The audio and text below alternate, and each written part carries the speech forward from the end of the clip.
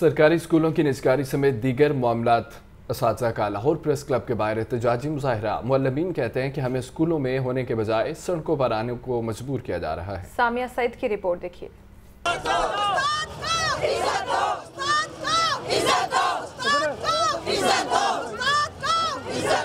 सरकारी स्कूलों की निचकारी, नज़रबंदी और फाइनेंशियल रूल्स में तब्दीली के खिलाफ प्रेस क्लब के बाहर बड़ी तादाद में मर्द खातन इस सरापा एहतजाज, हाथों में प्ले कार्ड्स उठाकर खूब नारेबाजी की।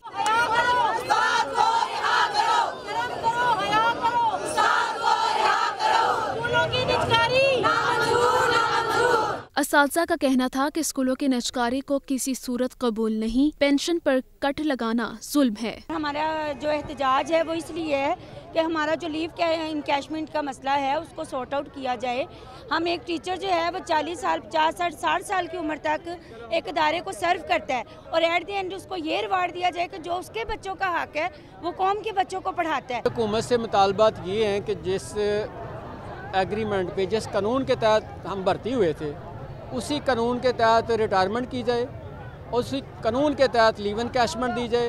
उसी कानून के तहत पेंशन दी जाए ग्रेजुएटी उसी कानून के तहत दी जाए। हम रोज पे आज इसलिए हैं कि हमारा हक मारा जा रहा है। लीव इन कैशमेंट जो कि हम एलपीआर भी नहीं लेते कि चलो हमें एंड पे फ़ायदा हो जाएगा। लेकिन वो भी नहीं दिया जा रहा। एक्स्ट्रा मरात तो हमें क्या दी जानी है वो हमें हमारा हक भी नहीं दे रहे हैं। मुजाकरात के लिए आने वाले सीईओ एजुकेशन परवेज अख्तर ने कहा मिल बैठकर जल्द मसले का हल निकाला जाएगा। इस का मजीद कहना था की निगरान हुकूमत अपने मैंडेट से तजावुज कर रही है। इस के फाइनेंशियल रूल्स में तब्दीली को किसी सूरत कबूल नहीं किया जाएगा। कैमरामैन इकराम के साथ सामिया सईद, लाहौर न्यूज़।